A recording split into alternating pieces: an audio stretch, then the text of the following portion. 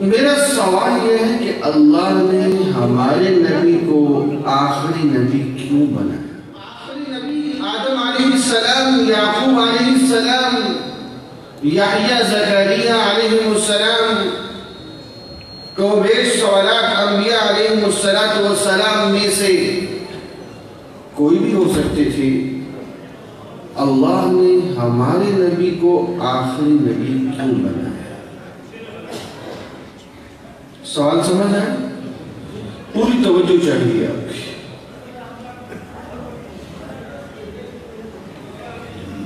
اللہ تعالیٰ نے ہمارے نبی کو آخری نبی کیوں بنایا؟ دو اوصاف اللہ نے ہر نبی کو عطا کی اللہ تعالیٰ نے ہر نبی کو علم بڑا اونچا دیا۔ ہر نبی لیکن جب باری ہمارے نبی کی آئی تو علم وہ دیا جو اور کسی نبی کو بھی نہیں دیا۔ سبحان اللہ حضور اقدس صلی اللہ علیہ وسلم تشریف فرما۔ شیخین کریمین سیدنا ابو بکر عمر رضی اللہ عنہما تشریف فرما۔ آپ علیہ السلام کی موجودگی میں حضرت عمر رضی اللہ تعالیٰ تورات کے اوراق کھول کے تلاوت شروع کرتے ہیں۔ ادھر تورات کو پڑھنا شروع کیا، ذرا دھیان چاہیے۔ ادھر میرے نبی کے روح انور پر غصے کے آثار شروع۔ آپ علیہ السلام کو جب غصہ مبارک آتا تو یہاں سے ایک رگ پھڑکتی تھی۔ پیشانی کے بیچ سے۔ رنگ متغیر۔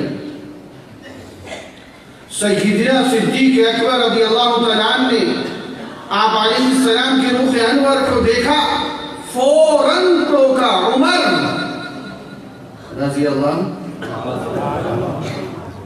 دیکھتے نہیں ہو الہ وجہ رسول اللہ صلی اللہ علیہ وسلم۔ ادھر دیکھو۔ حضرت عمر رضی اللہ تعالیٰ نے یوں کر کے دیکھا۔ فوراً تورات کے اوراق کو بند کیا۔ پھر بدی ایک جملہ کہا، جملے کی قیمت بتاؤں تو آپ آش آش کر اٹھیں۔ بعد میں بتاتا ہوں، میرے نبی کے روح انور کو دیکھ کر حضرت عمر نے اوراق بند کیے اور فرمایا، رضیت باللہ ربا وبالاسلام دینا وبمحمد نبی صلی اللہ علیہ وسلم۔ جملہ کہنے کی دیر میرے نبی کا سارا غصہ ختم۔ یہ بھی سنت ہے۔ غصے کو ہفتہ ہفتہ پالنا نہیں چاہیے، یہ بھی سنت ہے۔ غصہ ختم۔ توجہ سے لفظ سننے والے، آپ علیہ السلام نے فرمایا، عمر تورات کی تلاوت کر رہے تھے، آج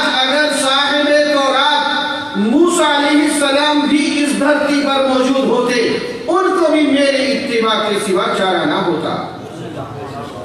چلنا ان کو بھی قرآن و سنت پہ پڑھتا۔ یہ بڑے بڑے اکابر علماء موجود ہیں۔ آپ کو پتا ہے، ایک لاکھ نبی صرف قوم بنی اسرائیل میں ٹوٹل ایک لاکھ تو بیش چوبیس ہزار ان میں سے ایک لاکھ کے قریب نبی صرف قوم بنی اسرائیل میں۔ اور بنی اسرائیل میں شریعت چلی موسیٰ علیہ السلام کی۔ ایک لاکھ نبیوں کی شریعت تورات والی۔ یاد رکھنا، یہ علمی گفتگو ہے جو چھیڑنا نہیں چاہتا تھا عوام بیٹھی ہے۔ عیسیٰ علیہ السلام کو نئی کتاب ملی، نئی شریعت نہیں ملی۔ شریعت ان کے پاس بھی تورات والی تھی۔ ایک لاکھ نبی جس شریعت پہ چلتے رہے، اس صاحب شریعت، موسیٰ علیہ السلام کے بارے میں میرے نبی نے کیا فرمایا؟ عمر، آج اگر صاحب تورات موسیٰ علیہ السلام بھی اس دھرتی پر موجود ہوتے، ان کو بھی میری اتباع کے سوا چارہ نہ ہوتا۔ میرے نبی کا علم اتنا اونچا ہے اس کے ہوتے ہوئے موسیٰ علیہ السلام کی تعلیمات نہیں چل سکتی۔ بولے بولے۔ سچے کی نہیں چل سکتی تو جھوٹے کی چل جائیں کسی مرزے کہانے کی چل جائیں یہاں تو سچے کی نہیں چلتی اور ایک جملہ دینا چاہتا ہوں۔ کاش میں آپ تک اس جملے کو صحیح طریقے سے منتقل کر سکوں۔ میں آپ سے پوچھنا چاہتا ہوں۔ حضرت عمر سچے نبی کی کتاب پڑھ رہے تھے یا جھوٹے تو رات میرے رب نے اتاری تھی کہ نہیں اتاری تھی۔ میرا توجہ جانگے میری بات کو سمجھو یار ایسے نہیں کتاب تورات قرآن و حدیث کو چھوڑ کے حضرت عمر تورات میں منہمک ہوئے۔ میرے نبی نے برداشت نہیں کیا۔ جو آج انگریزی علوم میں اپنے بچوں کو کھپا رہے ہیں وہ تو وہی تھی۔ جو دنیاوی علوم میں کھپا رہے ذرا سوچیں میرے رب کے غضب کا عالم کیا ہوگا۔ ترجیح قرآن و حدیث ہے۔ ایک دلیل انبیاء بری اسرائیل ایک لاکھ تشریف لائے شریعت موسوی چلتی رہی تورات چلتی رہی۔ عیسیٰ علیہ السلام کی شریعت بھی تورات والی۔ اور میرے نبی کیا فرماتے ہیں؟ اے عمر، آج اگر صاحب تورات موسیٰ علیہ السلام بھی اس دھرتی پر موجود ہوتے، ان کو بھی میری اتباع کے سوا چارہ نہ ہوتا۔ چلنا ان کو بھی قرآن و سنت میں پڑھتا ہوں۔ اور آؤ، عقیدے کی گفتگو کرتا ہوں۔ قادیانیت کا رد مزید بھی کرنا چاہتا ہوں۔ یہ میرے آپ کے ایمان کا حصہ ہے۔ یہ میرے آپ کے ایمان کا تقاضا ہے۔ اللہ ایک ہے۔ یعنی یہ بھی شک۔ بلند آواز سے۔ میرا آپ کا ایمان ہے۔ ہمارے نبی اللہ کے آخری نبی کہیں بے شک۔ میرا آپ ایمان ہے۔ عیسیٰ علیہ السلام نے آسمانوں سے دوبارہ تشریف لانا ہے۔ پیچھے والوں کی آواز نہیں آ رہی۔ سنیں، عقیدہ مضبوط کرے ذرا۔ یکسوئی چاہیے۔ میرے رب نے کیا فرمایا؟ وَيُعَلِّمُهُ الْكِتَابَ وَالْحِكْمَةِ وَالتَّوْرَاةَ وَالْإِنجِيلِ۔ عیسیٰ علیہ السلام کے لیے چار چیزوں کی تعلیم ہے. وَيُعَلِّمُهُ الْكِتَابَ وَالْحِكْمَةِ وَالتَّوْرَاةَ وَالْإِنجِيلِ یہ تورات اور انجیل تو سمجھ آ گئے. اس کتاب و حکمت سے کیا مراد ہے؟ جو علم عیسیٰ علیہ السلام کے لیے میرے رب نے رکھا. کتاب و حکمت سے مراد قرآن و حدیث کا علم ہے. عیسیٰ علیہ السلام کے لیے قرآن و حدیث کا علم کیوں؟ کل قیامت کے نزدیک جب عیسیٰ علیہ السلام تشریف لائیں گے، نبی ہوں گے۔ مل کے بولو نبی۔ بلند آواز سے نبی۔ فیصلے قرآن و حدیث کے مطابق ہوں گے۔ وہ کس طرح؟ میں ایک مثال دینا چاہتا ہوں۔ ذرا توجہ سے مثال کو بھی یاد کرنا ہے، اپنی نسلوں کو بھی بتانا ہے، ایمان کو بھی تحفظ دینا ہے۔ اگر پاکستان کا صدر ترکی میں چلا جائے، تو ترکی میں ترکی کے صدر کا حکم چلے گا یا پاکستان کے صدر کا؟ دھیری آواز آئی ہے جو پاکستان کا صدر کیا ہے، اس کی صدارت ختم ہو جائے گی؟ اس کی صدارت باقی ہے۔ ترکی میں توجہ چاہیے۔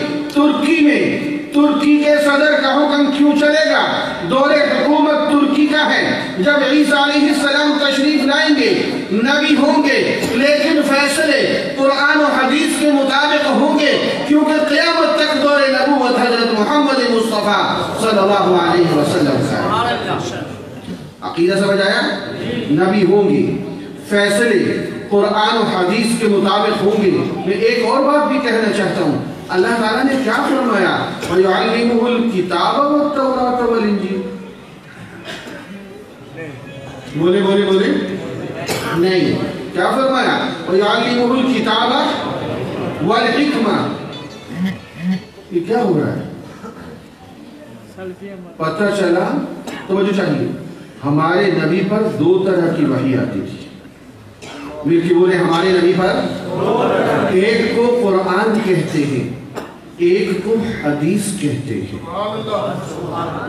میرے رب نے یوں نہیں کہا، وَيُعَلِّمُهُ الْكِتَابَ وَالتَّوْرَاتُ وَالْإِنْجِيلَ۔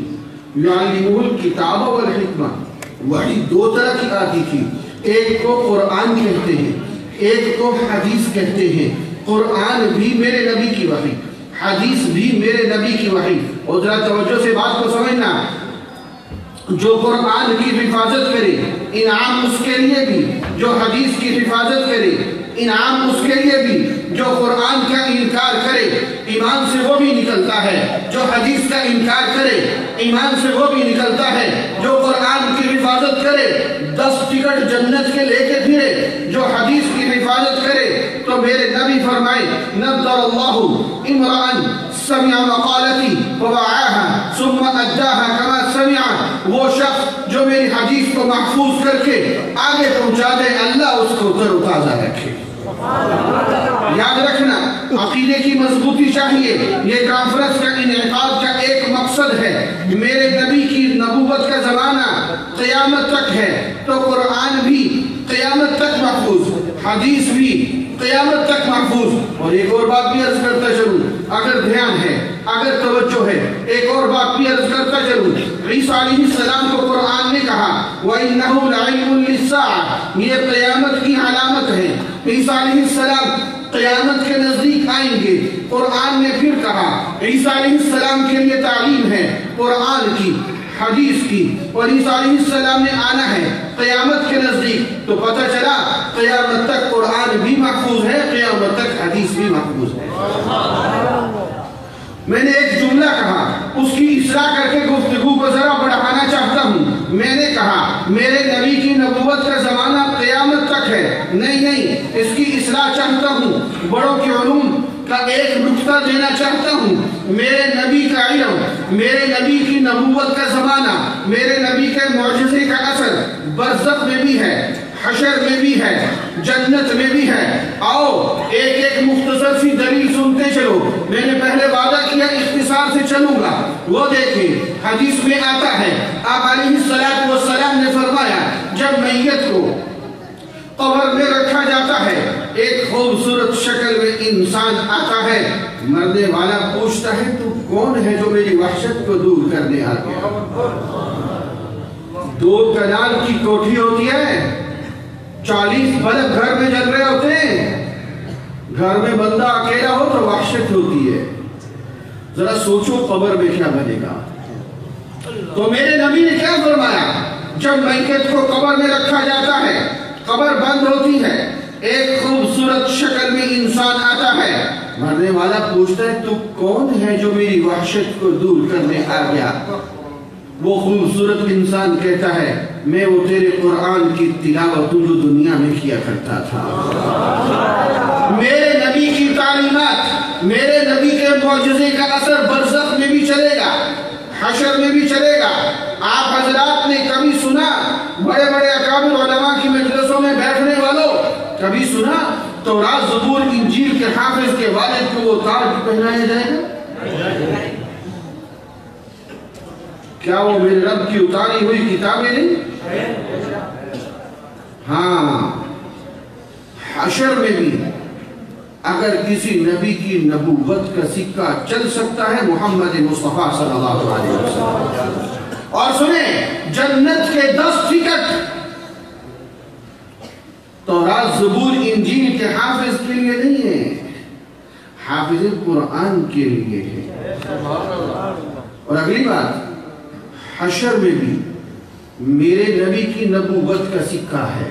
جنت میں بھی سنیں عجیب حدیث ایمان تازہ ہو۔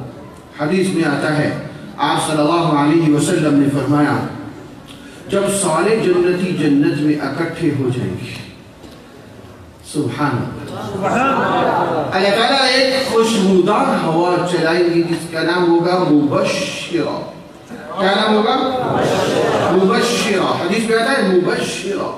ہوا چلے گی جنتیوں کے لباس اور معطر اور خوشبودار جنتی کہیں گے لو بھئی آج کوئی خاص بات ہے. آج کوئی خاص بات ہے. اتنے میں اللہ تعالیٰ بلائیں گے داؤد علیہ السلام کو، اے داؤد، آؤ، کون داؤد؟ جب دنیا میں زبور پڑھتے تھے، خدا کی قسم آواز اتنی مسحور کن اور خوبصورت تھی، پرندے ہوا میں ٹھہر جایا کرتے تھے۔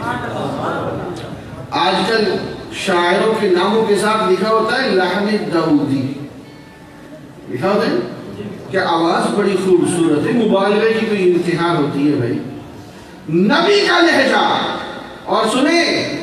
آج داؤد علیہ السلام زبور بھی سنائیں گے۔ میں تو بڑا مختصر لے کے چل رہا۔ اللہ تعالیٰ بلائیں گے داؤد علیہ السلام کو، آؤ۔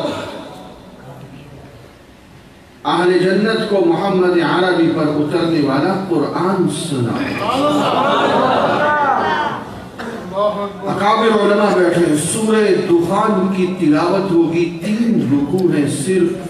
جب داؤد علیہ السلام تلاوت فرمائیں گے دو سو سال تک جنتی جنت کو بھلا کے بیٹھے ہوں گے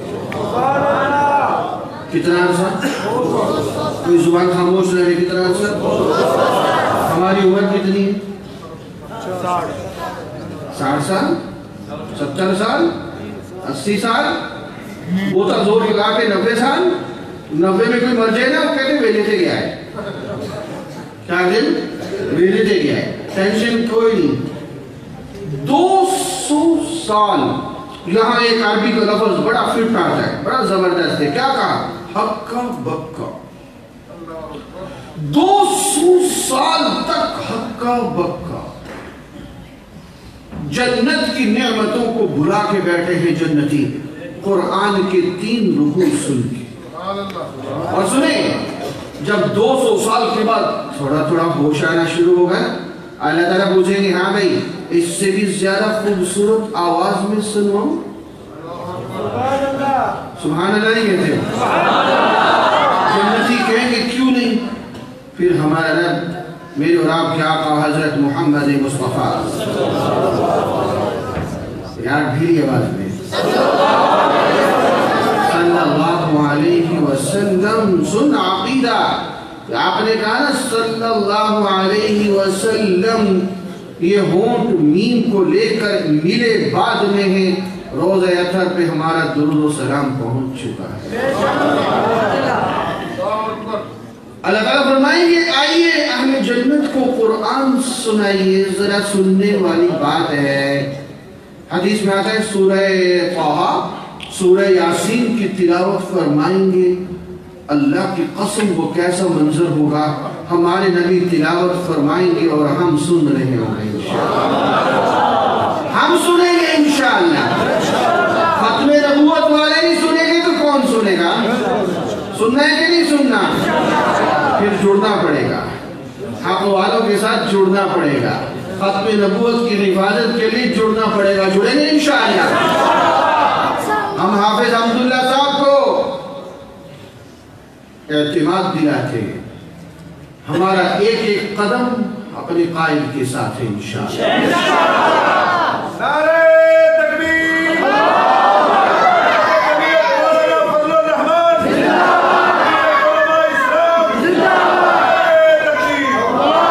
سننا میں اختصار سے ختم کروں گفتگو کو اور مائک حوالے کروں حضرت کے۔ میرے نبی جب تلاوت فرمائیں گے حدیث میں آتا ہے پانچ سو سال تک جنتی جنت کو بلا کے بیٹھے کتنا عرصہ؟ اور پانچ سو سال کے بعد اللہ تعالیٰ پوچھیں گے ہاں بھائی، اس سے بھی زیادہ خوبصورت آواز میں سنواؤں بلند آواز سے۔ جنتی کہیں گے، کیوں نہیں؟ پھر ہمارا رب خود ہمیں قرآن سنائے گا۔ ذرا بلند آواز سے کہیں سبحان اللہ۔ اللہ کی قسم وہ کیسا منظر ہوگا جب رحمان خود سورہ رحمان۔ فَبِأَيِّ آلَاءِ رَبِّكُمَا تُكَذِّبَانِ اچھا میرا سوال کھڑا ہے۔ جنت کی باتیں مولانا طارق جبیل صاحب سے سنا کرو میں تو دلائل کی دنیا کی بات کر رہا ہوں۔ توجہ سے سوال اٹھانے لگا ہوں، جواب سب نے دینا ہے۔ جب میرا رب قرآن سنائے گا، تو کیا جنت میں تورات والے موسیٰ علیہ السلام ہوں گے کہ نہیں ہوں گے؟ علیہ السلام ہوں گے کہ نہیں ہوں گے کم بے سوالات انبیاء اپنی اپنی وحیوں والے ہوں گے کہ نہیں ہوں گے؟ آج کوئی نبی اعتراض نہیں کرے گا میری وحی کہاں ہے؟ آج سب کو پتا ہے، جنت میں جانے کے بعد بھی کسی نبی کی نبوت کا سکہ چل سکتا ہے، محمد مصطفیٰ صلی اللہ علیہ وسلم۔ اور ہاں تورات زبور انجیل کے حافظ تو نہیں، قرآن کے حافظ سے کہا جائے گا، پڑھتا جا۔ بولو بولو میاں۔ اچھا جب مولوی صاحب کہتے ہیں چڑھتا جا۔ ہم سمجھتے ہیں کوئی سیڑھیاں ہیں، تیزی سے چڑھتا جائے گا۔ نا نا نا نا۔ اللہ تعالیٰ حدیث میں آتا ہے ما بین السماء والارض، ایک درجے کا فاصلہ زمین و آسمان کے برابر ہو۔ واپس آئیے۔ میرے نبی کا علم اتنا اونچا ہے۔ عنوان یاد ہے؟ اللہ نے میرے نبی کو آخری نبی کیوں بنایا؟ نمبر ایک، ہر نبی کو علم بڑا اونچا دیا۔ جب باری ہمارے نبی کی آئی، علم وہ دیا۔ بالفرض موسیٰ علیہ السلام آنے، چلنا ان کو بھی قرآن و حدیث پہ پڑے گا۔ عیسیٰ علیہ السلام آئیں گے، چلنا قرآن و حدیث پہ پڑے گا۔ میرے نبی کا علم اتنا اونچا ہے، برزخ میں بھی چلے گا، حشر میں بھی چلے گا، جنت میں بھی چلے گا۔ میرے نبی کا علم اتنا اونچا ہے، اس کے برابر میرے رب کے بعد جس کا علم ہے وہ محمد مصطفیٰ صلی اللہ علیہ وسلم کی ذات. نمبر دو ختم کر رہا ہوں دوسرا وصف اللہ نے ہر نبی کو اخلاق بڑے اونچے دیے. توجہ ہے؟ جب باری میرے نبی کی آئی. سبحان اللہ نے ہائے ہائے جب باری ہمارے نبی کی آئی، اللہ نے اخلاق وہ دیے جو اور کسی نبی کو بھی نہیں دیے. میرا وعدہ اختصار کا تھا۔ ایک ہے اخلاق حسن ایک ہے اخلاق کریم ایک ہے اخلاق عظیم اخلاق حسن اخلاق کریم سب میں بانٹ دیے کم بے سوالات میں بانٹ دیے امتوں میں بانٹ دیے جو اخلاق کا سب سے اونچا حصہ تھا۔ اخلاق عظیم میرے رب نے بچا کے رکھے اور عطا کر دیے انبیاء اس نبی کو جو نبیوں کا بھی ایمان تھا۔ کہاں؟ سورہ قلم نون والقلم وما يسطرون ما أنت بنعمة ربك بمجنون وإن لك لأجرا غير ممنون وإنك لعلى خلق عظیم۔ میرے رب نے تین قسمیں کھائی ہیں۔ کیوں؟ بہت مختصر کر رہا ہوں۔ ناموس رسالت میرا مضمون ہے۔ ایک دو باتیں سنا کے ختم کرتا ہوں۔ ہمیں اپنے نبی کی شان کا پتہ ہی نہیں۔ آج جو آپ ختم نبوت کے نام پہ چل کے یہاں پہنچے، اللہ کی قسم اس ایک ایک قدم کی قیمت آپ کو مرنے کے بعد پتہ چلے آپ یہ سمجھے کہ ہم ایسے ہی اٹھ کے آ گئے۔ ہم چودہ سو سال کے بعد میں اپنے نبی کی طرف دار بن کے یہاں پہنچے۔ گے ہمیں اپنے نبی کی شان کا پتہ ہی نہیں۔ میرے رب کی شان میں گستاخی ہوئی۔ ولید بن مغیرہ نے کیا کہا؟ نانا، فرعون نے، انا ربکم الاعلی میں رب اعلی ہوں تو جو بھی طرف کہنا میں رب اعلی اس سے بڑی کیا گستاخی میرے رب کی شان میں ہوتی؟ اللہ تعالیٰ نے موسیٰ علیہ السلام کی اسپیشل ڈیوٹی لگائی۔ اذهب الى فرعون انہو طغا جاؤ، جا کے سمجھاؤ، سرکشی کرتا ہے۔ میری شان میں گستاخی کرتا ہے۔ سمجھانا کس طرح ہے؟ اولم لیکینا نرمی سے سمجھانا۔ سختی مت کرنا۔ میرے رب کی شان کا مسئلہ تھا۔ میرے رب نے کہا، ذرا ہاتھ ہولا رکھنا۔ جب میرے نبی کی عزت کا مسئلہ آیا، ولید بن مغیرہ نے ایک جملہ کہا، انکا لمجنون میرا رب خود دفاع میں اترتا ہے، تین قسمیں کھاتا ہے۔ میرے رب کے جلال کو ذرا سمجھنا۔ نون والقلم وما یسطرون، تین قسمیں کھائی ہیں۔ میرے رب کو قسم کھانے کی ضرورت نہیں تھی۔ میرے رب ویسے ہی کہتا تو ہم مانتے۔ قسم کھا کے میرے نبی کی شان جتلانا مقصود تھی۔ ایک سوال پوچھنا چاہتا ہوں۔ بڑوں کی موجودگی میں انکا لمجنون اللہ تعالیٰ ویسے بھی تو کہہ سکتے تھے نا اس نے گستاخی کی ہے۔ نہیں سمجھے بات۔ اللہ تعالیٰ ویسے بھی تو بتا سکتے تھے نا اس نے گستاخی کی ہے۔ وہ لفظ کیوں ذکر کیا؟ سنیں، ہم سے بات ساتھی کہتے ہیں عالمی مجلس تحفظ ختم نبوت کی حضرات سے کہتے ہیں، آپ اپنے لٹریچر میں مرزے کی وہ عبارتیں کیوں شامل کرتے ہو، جس میں اس نے ہمارے نبی کی شان میں گستاخی کی ہے؟ یہ دیکھو۔ مفسرین نے لکھا ہے بسا اوقات نبی کی امت کو جھنجھوڑنے کا یہ طریقہ بھی ہوتا ہے، وہ تو تیرے نبی کی شان میں یہ بکواس کر رہا ہے، تو کیا کر رہا ہے؟ یہ قرآن سے ثابت ہے۔ سنیں، اس ولید بن مغیرہ نے گستاخی کی، میرا رب دفاع میں آیا۔ ایک آئے دوسرا آئے تیسرا آئے چوتھا آئے دس عیب قرآن میں ذکر کیے۔ آپس میں لڑانے والا ولید، سرکشی کرانے والا، خیرات سے روکنے والا، سیدھے رستے سے روکنے والا۔ نو عیب ذکر کیے، دسواں عیب کیا کہا؟ توجہ چاہیے۔ عدل بعد ذالک الزنین میری آواز میری مائیں بہنیں بھی سن رہی ہیں. ذرا ہلکا ٹھنڈا ترجمہ کرتا ہوں. عدل بعد ذالک الزنین رب کا قرآن سنا رہا ہوں. عدل بعد ذالک الزنین یہ جس کو اپنا باپ کہتا ہے وہ اس کا باپ نہیں ہے. میرے رب کی جلال کو سمجھ رہے ہو؟ وہ ولید بن مغیرہ تلوار نکال کے دوڑتا ہے اپنی ماں کی طرف وہ بھی مشرکہ۔ میں نے کہا سچ بتا، وہ نو عیب میرے اندر موجود ہے۔ اس دسویں عیب کی کیا حقیقت ہے؟ وہ ماں کہتی ہے مشرکہ ہاں یہ بھی درست ہے۔ تو اپنے باپ کا نہیں، تو فلان چرواہے کی اولاد ہے۔ اور سنو، مفسرین نے لکھا ہے جو میرے نبی کی شان میں گستاخی کرتا ہے، رب کعبہ کی قسم، وہ حرامی تو ہو سکتا ہے حلالی نہیں ہو سکتا۔ یہاں تفسیر میں لکھا ہے، حلالی میں جرت نہیں، کائنات کے سردار کی شان میں گستاخی کرے۔ میرا ایک سوال ہے، میرے رب کی شان تو ستار میں عیوب ہے۔ وہ تو عیبوں کو چھپانے کو پسند کرتا ہے۔ یہاں دس عیب۔ سنو، میرے رب نے ہمیں سمجھایا ہے، ہستی اتنی اونچی ہے، جو گستاخی کرے گا تو قیامت تک عبرت کا نشان بنا دوں گا۔ اور جو میرے محبوب کا نام ایک دفعہ محبت کے ساتھ لے گا، دس دفعہ محبت کی نظر سے اس کو دیکھوں گا۔ صلی اللہ۔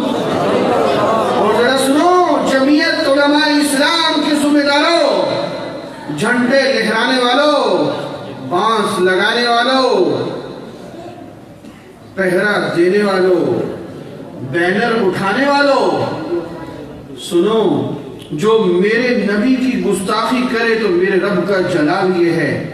جو میرے نبی کی عزت کے دفاع میں نکلتا ہے تو رب کے ہاں اس کا مقام کیا ہوگا؟ کچھ سمجھے ہو؟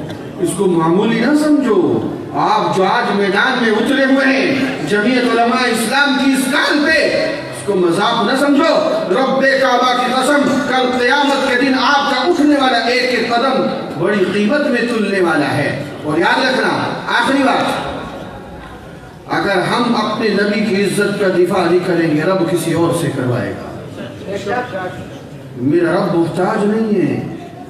بیسیوں واقعات ہیں۔ ایک سنا کی دعا کی طرف چلتا ہوں، حضرت کے حوالے کرتا ہوں۔ غزوہ خیبر کا موقع ہے۔ میرے نبی کو مال غنیمت میں ایک گدھا ملتا ہے۔ ہم ادب سے بولتے ہیں، دراز گوشت، لمبے کانوں والا۔ گدھا سواری ہے، تمام انبیاء نے سواری کی ہے۔ میرے نبی نے بھی گدھے کی سواری کی ہے، ایک سواری ہے۔ سننے والی بات ہے ذرا۔ نشر الطیب فی ذکر الحبیب۔ حضرت تھانوی رحمت اللہ علیہ کی کتاب میں واقعہ ہے۔ اپنے بڑوں کو پڑھو تو صحیح۔ کیا واقعہ؟ وہ جو دراز گوشت ملا۔ آپ علیہ السلام کو مال غنیمت میں، غزوہ خیبر میں، یہودیوں سے جنگ میں، میرے نبی نے جب اس میں سواری فرمائی، وہ دراز گوش، وہ گدا خوشی سے ہلا کہ کائنات کے سردار میرے اوپر سوار۔ سبحان اللہ، ڈھیلی نکلی وہ خوشی سے جھوما خوشی سے ہلا وہ دراز گوش میرے نبی نے فرمایا، بہت خوش ہو۔ اب سننے والی بات سنانے چلا حدیث کا مفہوم ہے وہ دراز گوش کہنے لگا، یا رسول اللہ صلی اللہ علیہ وسلم، وہ ملعون مرحب، میں اس کے قبضے میں تھا۔ وہ جب میرے اوپر بیٹھتا تھا، آپ کی شان میں گستاخی کرتا تھا۔ یا رسول اللہ، اور تو میں کچھ کر نہیں سکتا تھا، لیکن جو کر سکتا تھا، کرتا تھا۔ سبحان اللہ لفظوں پہ غور نہیں کیا۔ لفظوں پہ غور نہیں کیا۔ یا رسول اللہ اور تمہیں کچھ کر نہیں سکتا تھا جو کر سکتا تھا کرتا تھا۔ جب وہ اور کی شان میں گستاخی کرتا تھا اس وقت تک اپنے آپ کو ہلاتا رہتا تھا۔ جب تک وہ ملعون نیچے گر نہیں جاتا تھا سکون سے کھڑا نہیں ہوتا تھا۔ ہائے۔ ایک اس دراز گوش کا میں آپ کے دلوں میں اڑھیلنا چاہتا ہوں۔ کاش کوئی ٹیکنالوجی ہو، میں درد کو منتقل کر سکوں۔ اس دراز گوش گدے نے کیا کہا؟ جو کر سکتا تھا، کرتا تھا۔ ہم بھی اسی طرح ہیں۔ ہم جو کر سکتے ہیں، کرتے ہیں۔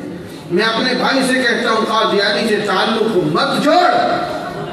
میرے قائد نے کہا تھا یہ یہودی ایجنٹ ہے اس سے تعلق مت جوڑ۔ میرے نبی کا دشمن ہے، تعلق مت جوڑ۔ جو کر سکتے تھے، ہم نے کیا؟ نہیں کیا۔ دیا نا نوٹ اس کو۔ اب چوپو ہور چوپو نبی سے بے وفا کو چھوڑا اور سنیں، اگلی بات بڑی عجیب ہے۔ بڑی عجیب، سبحان اللہ۔ وہ دراز گوش کہنے لگا یا رسول اللہ آپ علیہ السلام نے خوش ہو کے فرمایا دراز گوش گدے تجھے دو کر دے تجھے دو کر دے تیری سوال تیری نسل چلے۔ سننے والی بات ہے وہ گدھا کہنے لگا یا رسول اللہ صلی اللہ علیہ وسلم ہماری نسل کے ہم ستر گدے تھے۔ جنہوں نے مختلف انبیاء کی سواری بننا تھا۔ ان میں سے انہتر گدے مختلف انہتر انبیاء کی سواری بن چکے اگلا جملہ دوں؟ اگلا جملہ سناؤں؟ گدا کہنے لگا، یا رسول اللہ! آپ نبی آخری۔ یا سبحان اللہ سے کہو۔ جو بات اس دراز گوش کو پتا تھی، وہ ربوے کے کھوتوں کو نہیں پتا اوئے ہوئے ہوئے یا رسول اللہ، آپ نبی آخری۔ میں اس نسل کا گدھا آخری۔ میری نسل چل نہیں سکتی وہی ہوا۔ جس دن میرے نبی نے دنیا سے پردہ فرمایا، اگلے دن صحابہ کرام نکلے۔ ارے ارے، وہ دراز گوش کدھر ہے؟ ہمارے نبی سے محبت کیا کرتا تھا۔ جب ڈھونڈنے نکلے تو پتہ چلا ایک کنویں میں گر کے مر چکا ہے۔ ہمارے نبی کی جدائیگی کو برداشت نہیں کر سکا۔ یاد رکھنا، میرے نبی کی عزت کا تحفظ اگر ہم نہیں کر سکتے، رب کسی اور سے کرواتا ہے۔ ابو لہب کا بیٹا آیا، کہنے لگا، ابا، میرے ہمارے نبی کا نام لے کے کہنے لگا، یہ بکواس کی ہے میں نے۔ یہ زبان درازی کی ہے میں نے، یہ جملہ کہا ہے۔ ابو لہب نے آگے سے پوچھا، رد عمل میں کوئی جواب تو نہیں آیا؟ کہنے لگا ہاں آیا۔ کیا آیا؟ ابو لہب کا بیٹا کہنے لگا، ہمارے نبی کا نام لے کے۔ انہوں نے کہا تھا، اللہم صلت علیہ قلب من کلابک۔ اے اللہ، اپنے درندوں میں سے کوئی درندہ اس میں مسلط ہے۔ ابو لہب نے کہا، ذرا بچ کے رہنا۔